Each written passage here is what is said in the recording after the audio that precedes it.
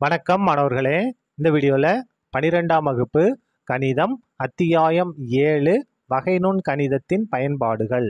இதில் பயிற்சி ஏழில் ஐந்தில் ஒன்பதாவது கணக்கு பார்க்க போகிறோம் என்ன கொடுத்துருக்காங்க பாருங்கள் கீழ்காணும் எல்லையினை தேவைப்படும் இடங்களில் லோபிதாலின் விதியை பயன்படுத்தி காண்க. ஒரு எல்லை கொடுத்துருக்காங்க. இதோடைய மதிப்பை நம்ம கண்டுபிடிக்கணும். தேவைப்படும் இடங்களில் என்ன செய்யணும்? லோபிதாலின் விதியை நம்ம பயன்படுத்தணும். சரியா? பாருங்கள் கொடுத்துருந்த எடுத்து எழுதிட்டோம். இப்போ பாருங்கள் நம்ம எல்லை மதிப்பு எக்ஸ் இருக்க இடத்துல நம்ம என்ன செய்யணும்? இன்ஃபினிட்டியை நம்ம பிரதியிட போகிறோம் இந்த இடத்துல பாருங்கள் என்ன வரும்? இந்த ஒன்று அப்படியே வந்துடும் ப்ளஸ் ஒன்று பை எக்ஸ் எக்ஸுக்கு பதிலாக இன்ஃபினிட்டி ஒன்று பை இன்ஃபினிட்டி அப்படின்னா அதோட மதிப்பு ஜீரோ அப்போ இந்த இடத்துல ஜீரோ இதோட அடுக்கு எக்ஸு எக்ஸுக்கு பதிலாக இன்ஃபினிட்டி அப்போ என்ன வடிவம் வந்திருக்கு பாருங்கள் ஒன்னே ஜீரோ கூட ஒன்று தான் ஒன்னின் அடுக்கு இன்ஃபினிட்டி வடிவம். இது வந்து என்னென்னா தேரப்பெறாத வடிவம். தேரப்பெறாத வடிவம்னா நம்ம லோபிதாலின் விதியை பயன்படுத்தணும். இந்த இடத்துல லோபிதாலின் விதியை நம்ம பயன்படுத்த முடியாது. ஏன் அப்படின்னா பின்ன வடிவத்தில் இருந்தால் தான் நம்ம லோபிதாலின் விதியை பயன்படுத்த முடியும். இதை பின்ன வடிவம் மாற்றுறதுக்கு நம்ம என்ன செய்கிறோம் அப்படின்னா பாருங்கள் இதை மட்டும் நம்ம ஜி ஆஃப் எக்ஸ்னு எடுக்க போகிறோம் G of X equal to ஒன்று ப்ளஸ் ஒன்று பை எக்ஸு இதனுடைய அடுக்கு எக்ஸு என்க. இப்போது ரெண்டு சைடும் மடக்கை எடுக்க போகிறோம் ரெண்டு இருபுறமும் மடக்கை எடுக்க.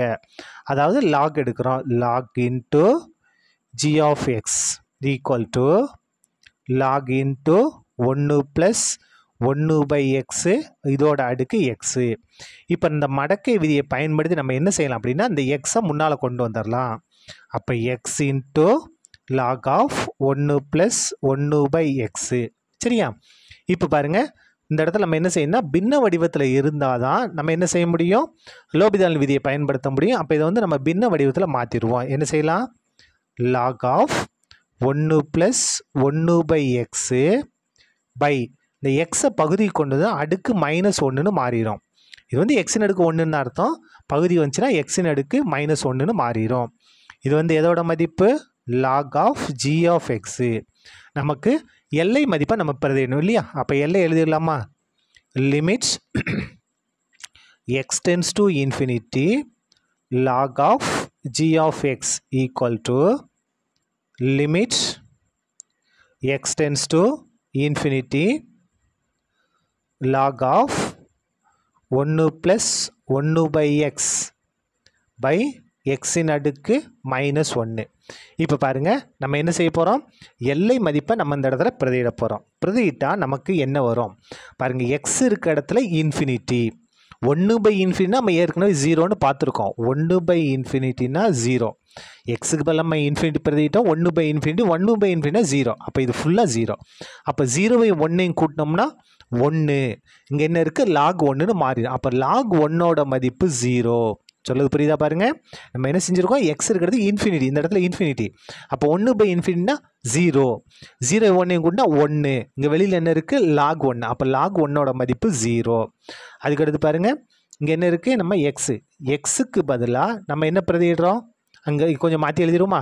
எக்ஸின் அடுக்கு மைனஸ் ஒன்றுனா என்ன அர்த்தம்? ஒன்று பை எக்ஸு எக்ஸுக்கு பதிலாக நம்ம என்ன பிரதிடுறோம் இன்ஃபினிட்டின்னு பிரதிடுறோம் அப்போது ஒன்று பை இன்ஃபினிட்டினா அதோட மதிப்பு ஜீரோ அப்போ எக்ஸின் அடுக்கு மைனஸ் ஒன்று அதோட மதிப்பு ஜீரோ அப்போ ஜீரோ பை ஜீரோ வடிவம். சரியா? இது வந்து தேரப்பெறாத வடிவம்.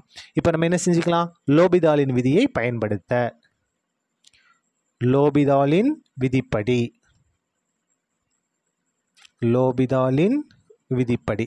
இப்போ பாருங்கள் ஈக்குவல் டு இடது பக்கம் எந்த மாற்றம் இல்லை? இந்த வலது பக்கத்தில் தொகுதியும் பகுதியும் நம்ம தனித்தனியாக வகையிடலாம். Limits X tends to infinity இப்போ பாருங்கள் லாக் இந்த ப்ராக்கெட் ஃபுல்லாகவே நம்ம எக்ஸ்னு எடுத்துக்கலாம். அப்போ லாக் எக்ஸை எக்ஸை பொறுத்து வகையிட்டோம்னா ஒன்று பை எக்ஸு ஒன்று பை எக்ஸ் இந்த ப்ராக்கெட்டை எல்லாமே நம்ம என்னென்ன எடுத்திருக்கோம்? எக்ஸ்ன்னு எடுத்திருக்கோம். அப்போ ஒன்று ப்ளஸ் ஒன்று பை எக்ஸு இப்போ பாருங்கள் திரும்ப நம்ம என்ன செய்யணும்னா இந்த எக் இந்த இருக்கு இல்லையா இந்த பகுதியில் இருக்குல்ல எக்ஸு இதை ஃபுல்லாக நம்ம வகையிட்டு மேலே பெருக்கல்ல எழுதணும். இப்போ பாருங்கள் ஒன்று ஒன்றை எக்ஸை பொறுத்து வகையிட்டுனா ஜீரோ அதுக்கு அடுத்தது ஒன்று பை எக்ஸை எக்ஸை பொறுத்து வகையிட்டோம்னா மைனஸ் ஒன்று பை எக்ஸ் ஸ்கொயர் வரும். சரியா? வேணா இந்த இடத்துல நான் போட்டு காமிக்கிறேன் பாருங்கள் என்ன இருக்குது ஒன்று பை எக்ஸு அப்போ ஒன்று பை எக்ஸை நம்ம எப்படி எழுதலாம்? எக்ஸின் அடுக்கு மைனஸ் ஒன்றுன்னு எழுதலாம். இதை எக்ஸை பொறுத்து நம்ம வகையிடுறோம். அப்போ அடுக்கு முன்னால் வந்துடும் அதுக்கு அடுத்த எக்ஸு இந்த அடுக்குலேருந்து ஒன்றை மைனஸ் பண்ணணும். அப்போ மைனஸ் ஒன்று இருக்குது அதுலேருந்து இன்னும் ஒன்று மைனஸ் பண்ணால் மைனஸ் ரெண்டுன்னு மாறிடும். அதாவது ஒன் மைனஸ் ஒன்று இருக்குது இதுலேருந்து ஒன்றை மைனஸ் பண்ணோம் அப்போ என்ன வந்துடும் மைனஸ் ரெண்டுன்னு வந்துடும் இப்போ பாருங்கள் மைனஸ் ஒன்று பை இது கீழே வந்துச்சுன்னா என்ன மாறிடும்? ப்ளஸ் எக்ஸ் ஸ்கொயர்னு மாறிடும். அதாங்க நான் போட்டிருக்கேன். பாருங்கள் மைனஸ் ஒன்று பை எக்ஸ் ஸ்கொயர் இப்போ பாருங்கள் இந்த இடத்துல என்ன இருக்குது எக்ஸின் அடுக்கு மைனஸ் ஒன்றுன்னு இருக்குது இதை எக்ஸை பொறுத்து நம்ம வகை எங்கே இருக்குது பாருங்கள் எக்ஸின் அடுக்கு மைனஸ் ஒன்று அதை எக்ஸை பொறுத்து வகையிட்டோம்னா மைனஸ் ஒன்று இன்ட்டு எக்ஸின் அடுக்கு மைனஸ் ரெண்டுன்னு வரும். சரியா? இப்போ பாருங்கள் equal to limit X tends to infinity இந்த இடத்துல பாருங்கள் ஒன்று பை ஒன்று ப்ளஸ் ஒன்று பை எக்ஸு அப்படியே இருக்கட்டும். இன்ட்டு ஜீரோ மைனஸ் ஒன்று பை எக்ஸ் ஸ்கொயர்னா மைனஸ் ஒன்று பை எக்ஸ் ஸ்கொயர் தான். எக்ஸின் அடுக்கு மைனஸ் ரெண்டு. தொகுதி கொண்டு வந்தோம் என்ன மாறிடும்? எக்ஸின் அடுக்கு ப்ளஸ் ரெண்டாக மாறிடும். பை இந்த வகுத்தில் இருக்க மைனஸ் ஒன்று அப்படியே தான் வரும். இப்போ பாருங்கள் இந்த மைனஸும் இந்த மைனஸும் கேன்சல் ஆயிரும். இந்த எக்ஸ் ஸ்கொயரும் இந்த எக்ஸ் ஸ்கொயரும் கேன்சல் ஆயிரும். இப்போ பாருங்கள் கரெக்டாக நம்ம சுருங்கிய வடிவத்துக்கு வந்துருச்சு.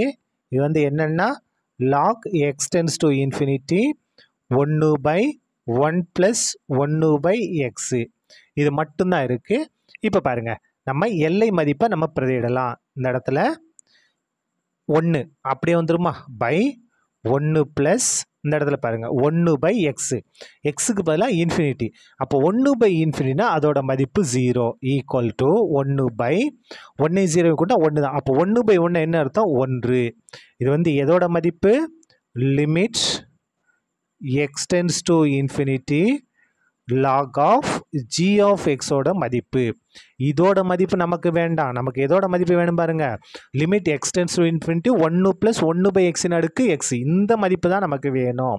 அப்போ நம்ம என்ன செய்ய போகிறோம்னா நம்ம புக்கில் இருக்க தேற்றம் ஏழு புள்ளி ஆறை பயன்படுத்தி இந்த லிமிட் இருக்கு இல்லையா? இதை இந்த இடத்துக்கு நம்ம கொண்டு வந்து எழுத போகிறோம் அப்போ எப்படி மாறும் பாருங்கள் log of limits x tends to infinity g of x equal to ஒன்று இந்த இடத்துல லாக்கில் அடிமானம் எது இல்லைன்னா அந்த இடத்துல ஈ இருக்கிறதா அர்த்தம். இப்போ பாருங்கள் இது வந்து என்ன வடிவம்? மடக்கை வடிவம். இது அடுக்குக்குறி வடிவத்தில் மாற்றும் போது இங்கே அடிமானத்தில் இருக்க ஈ வலது பக்கம் வந்தால் ஒன்றுக்கு அடிமானமாக மாறிடும் ஒன்று அடுக்காக மாறிடும் இடது பக்கத்தில் இந்த லிமிட் காணாமல் போயிடும் லிமிட் கட் ஆயிரும். அப்போ பாருங்கள் limits x tends to infinity g of x equal to e இன் அடுக்கு ஒன்று இந்த e இங்கே வந்து அடிமானம் ஆயிரும் இந்த ஒன்று அடுக்காக மாறிடும் limit x tends to infinity. g of xனா என்ன பாருங்கள் எதை நம்ம ஜி ஆஃப் x எடுத்துருக்கோம்? ஒன்று ப்ளஸ் ஒன்று பை எக்ஸ் அதோட அடுக்கு எக்ஸ் அதை தான் நம்ம ஜி ஆஃப் x எடுத்துருக்கோம். அதை மாற்றிடுவோம் அப்போது ஒன்று ப்ளஸ் ஒன்று பை எக்ஸு இதோட அடுக்கு எக்ஸ் ஈக்குவல் டு ஈயின் அடுக்கு ஒன்றுனா ஈன்னு e தான் அர்த்தம். சரியா? இதுதான் நமக்கு தேவையான எல்லையின் மதிப்பு. சரியா? அவ்வளோதான் இந்த கணக்கு முடிந்தது. நன்றி.